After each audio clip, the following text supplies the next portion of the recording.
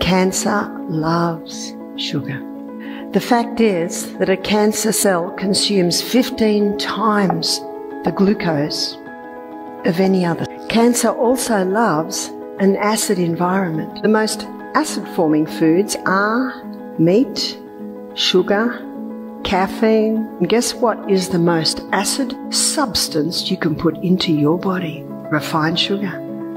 Nothing wrong with the sugar cane. All those minerals alkalize it up, but when they extract the sugar out of the sugarcane plant, it becomes a pure acid. Cancer hates it when you stop the sugar.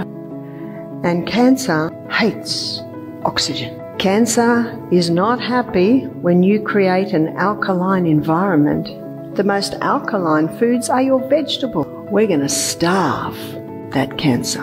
How do you starve it? To starve it, you've got to know what it loves. It loves glucose.